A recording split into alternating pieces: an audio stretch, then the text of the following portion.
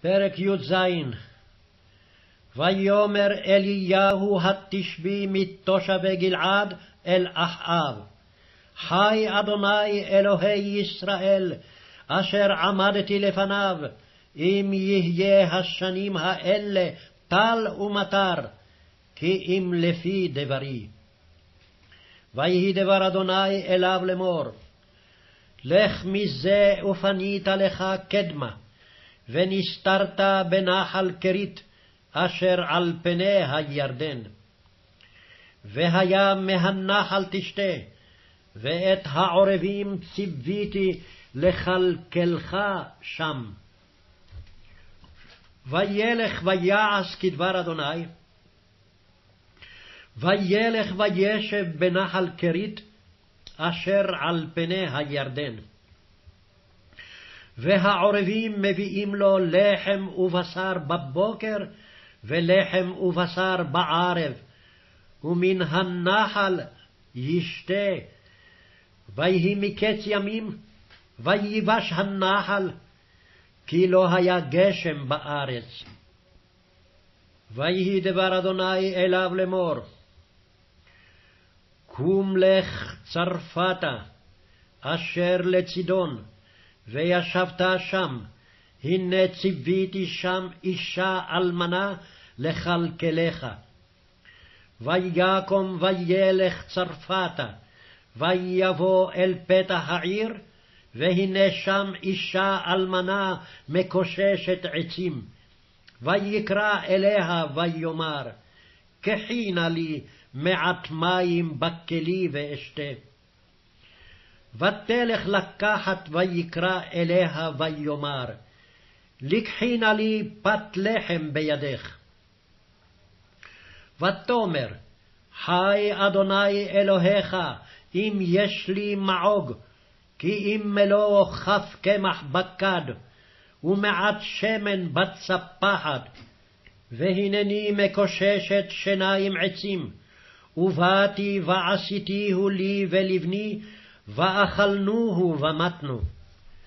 ויאמר אליה אליהו, אל תראי, בואי עשי כדברך, אך עשי לי משם עוגה קטנה וראשונה, והוצאת לי, ולך ולבנך תעשי באחרונה.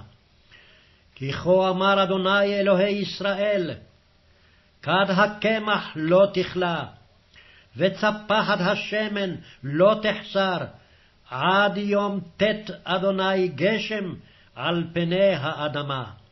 ותלך, ותעשה כדבר אליהו, ותאכל היא והוא וביתה ימים.